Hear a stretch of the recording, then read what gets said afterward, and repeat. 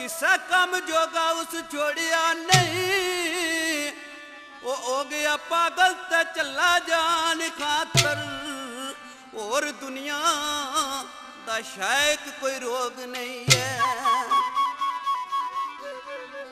ਔਰ ਦੁਨੀਆ ਦਾ ਸ਼ਾਇਕ ਕੋਈ ਰੋਗ ਨਹੀਂ ਹੈ ਉਹ ਸਿਰਫ ਜਗੋਰ ਜਲਾਇਆ ਜਾਣਾ ਖਾਤਰ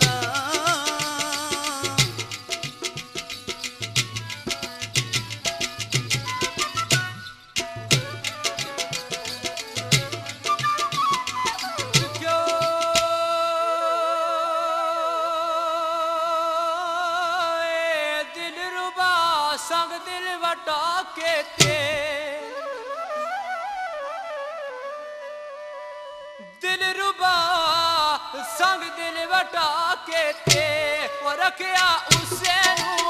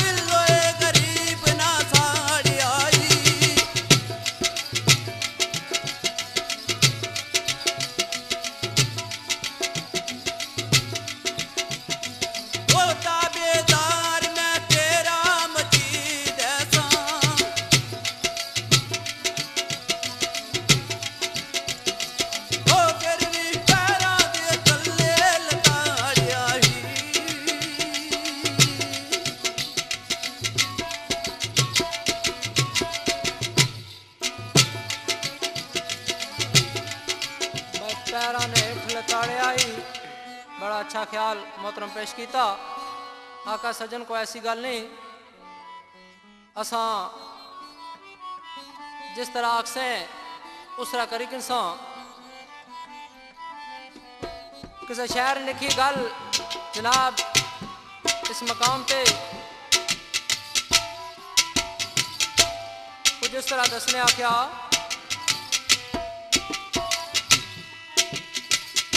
लिखा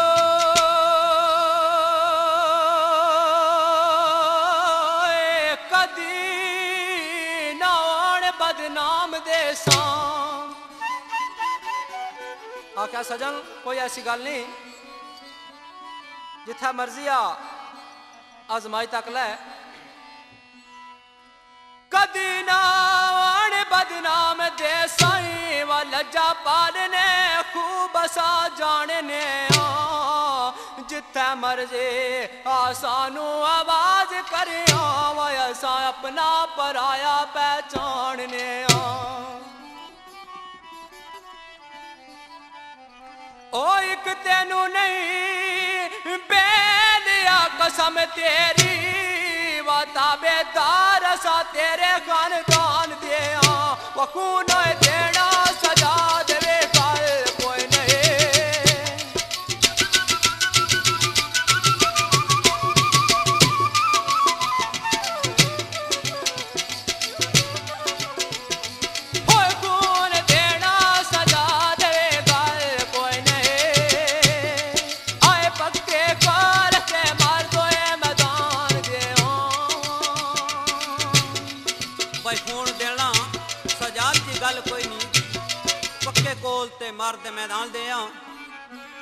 जिस तरह के उर्दू नसरी शेरा के जिंदगी भर जिसको चाहा था वो मेरा न था जो मेरी चाहत में मर गया कभी उसको चाहा न था इससे ही मुकाम निकाल जनाब आज ये रशीद आसिफ सरकार ना ख्याल सरकार आखने लिखदा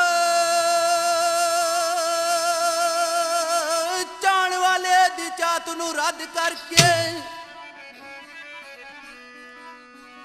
ਚਾਣ ਵਾਲੇ ਦੀ ਚਾਤ ਨੂੰ ਰੱਦ ਕਰਕੇ ਉਹ ਬੇਵਫਾ ਨੂੰ ਚਾਇਆ ਤਵਕੀ ਖਟਿਆ।